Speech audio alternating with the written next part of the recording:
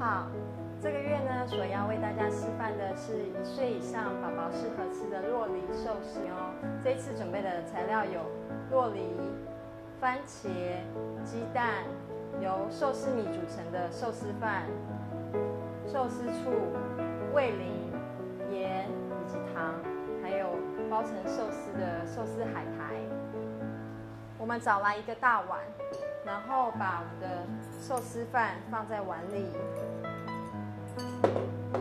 这时候呢，要再加入一汤匙的寿司醋，以及半茶匙的味淋，半茶匙的盐巴，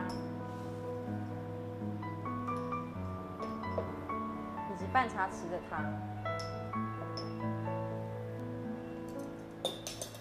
然后把它们搅拌均匀。这样就变成好吃的寿司醋饭了。然后我们把洛梨去皮去核之后呢，切成长条状；把番茄去掉籽之后呢，切也切成长条状。然后把鸡蛋煎成蛋皮之后切丝，这样我们的准备工作就要完成。接下来就要包寿司哦。然后我们把。包寿司的竹帘拿过来之后，再铺上海苔，然后把我们的醋饭放上海苔，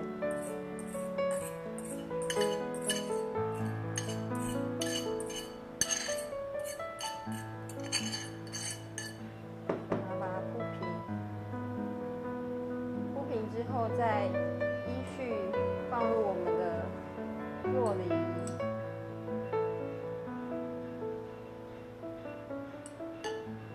番茄，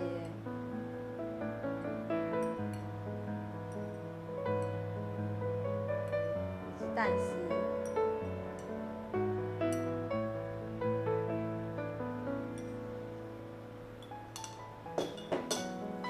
最后把它们卷成寿司。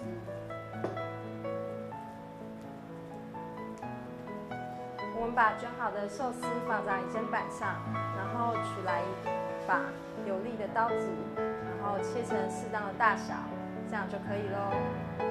好吃的肉梨，它的盛产期是每年的六月到隔年的二月。肉梨是营养非常丰富的水果，含有丰富的维生素 C、维生素 E，还有丰富的矿物质，可以帮助宝宝的肠胃道消化的膳食纤维。这些呢，都会让小朋友更开胃，喜欢吃护食品哟